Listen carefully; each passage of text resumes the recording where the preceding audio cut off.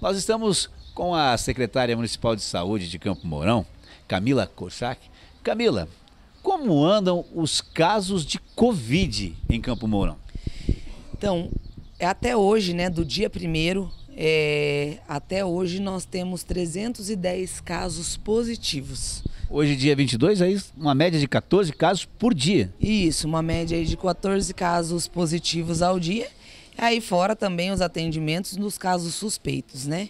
Que aí também gira uma média aí de mais uns 14, 15 ao dia. Se a pessoa quiser fazer teste de Covid, é possível fazer e onde? Na verdade, para a realização do teste, ela precisa ter a indicação médica. Né? Então, para que é, ela realize o teste, essa, ela precisa procurar um médico, tanto na UPA quanto no PA, que são os dois locais que nós temos os testes. O médico vai avaliar a questão de sintomas, a questão da queixa do paciente e aí faz ou não a indicação para que esse paciente realize o teste. Ah, e o teste é feito então na UPA?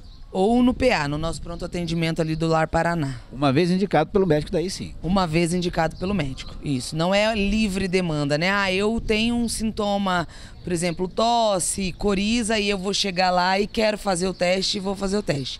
Não, precisa ter é, o, a indicação médica. Com esse número de casos, nós temos algum paciente internado por conta da Covid?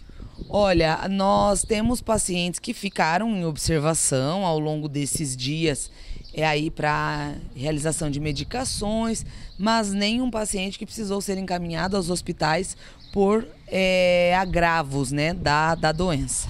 E a vacina? As pessoas ainda podem se vacinar? Onde elas podem se vacinar? Elas devem né, se vacinar. A nossa cobertura vacinal para a Covid ela teve uma queda bem expressiva, então a gente convida a população aí a procurar as nossas unidades de saúde do município para que realizem aí as suas doses de reforço.